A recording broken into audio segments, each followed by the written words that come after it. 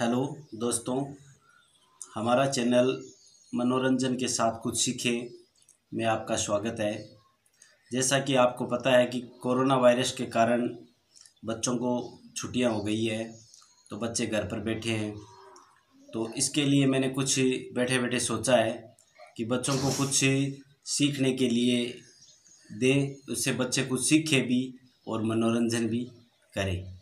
हाँ तो आज हम सीखेंगे एक जोड़ करना, जिसके अंदर एक संख्या जो है, जैसे मान लो आपसे मैं पूछ रहा हूँ तो आप बताओगे, और एक संख्या आपके बताते ही मैं उस जोड़ का जो है, वो आंसर, यानी उत्तर जो है, वो लिख दूँगा। उसके बाद में दूसरी संख्या आपसे पूछूँगा, फिर तीसरी संख्या मैं लिखूँगा, लेकिन उत्तर उसका मैंने पहले ही लिख दिया, एक संख्या आपके बताते ही लिख दिया। चलो, देखते हैं कैसे होता है।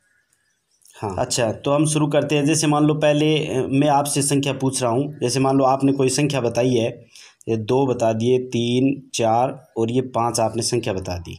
आपने ये एक संख्या बताई है, उसके बाद में मैं सीधा इसका आंसर लिख देता हूँ। चार, तीन, दो, एक, ये इसका आंसर हो गया। अब उसके बाद में मैं आपसे एक संख्या पूछता हूँ, आप कोई भी एक संख्या बता दीजिए। जैसे मान लो आपने दूसरी संख्या बताई है, वो भी आपने यही बता दी मान लो। ये हो गई। अब उसके बाद मैं एक संख्या मेरी तरफ़ से लिखूँगा।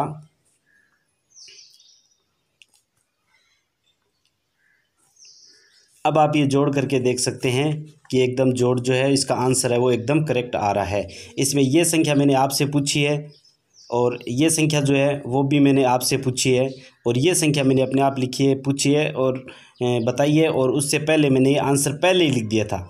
इस तरीके से आप और भी कर सकते अब मैं आपको बता देता हूँ कि ये कैसे किया है। जैसे मैंने आपसे पूछा तो ये संख्या आपने ये बताई। उसके बाद में ये जो संख्या है, इस संख्या का आंसर मैंने लिखा कि पहला जो अंक है, उसमें से एक कम कर दिया मैंने। तो यहाँ चार उतार दिए और बाकी जो अंक है, उनको वैसे के वैसे उतार दिया। चार का चार लिख दिए, तीन का तीन लिख दिए, दो का दो लिख दिया और उसके बाद में लास्ट में एक लगा दिया। उसके बाद में आपसे मैंने संख्या पूछी तो आपने मान लो वही संख्या बता दी या कोई और भी बता सकते हैं। ये संख्या आपने बता दी। अब मैं जो संख्या लिख रहा हूँ, उसके अंदर पूरा राज छुपा हुआ है। इस संख्या में मैं क्या करूँगा कि आपने जो ये जो संख्या बताई है, इन संख्याओं में जोड़ते हुए नौ नौ बनाना है मेरे को। जैसे मान लो पाँच आपने बताया तो मैंने पाँच में चार जोड़ दिए, नौ हो गई फिर आपने चार लिखवाया तो चार में मैंने पाँच जोड़ दिए तो नौ हो गई तीन बताए तो उसमें मैंने छः जोड़ दिए तो नौ हो गई। दो बताए तो मैंने उसमें सात जोड़ दिए तो नौ हो गई। और इस प्रकार से इस जोड़ का जो हल है, वो ये संख्या आती है।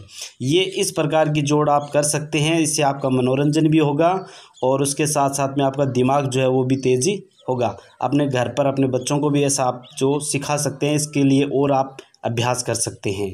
तो मेरा चैनल जो है, इसको आपने सब्सक्राइब नहीं किया अभी तक तो इसको सब्सक्राइब करें और जो बेल है उसको बेल को दबाएँ। धन्यवाद।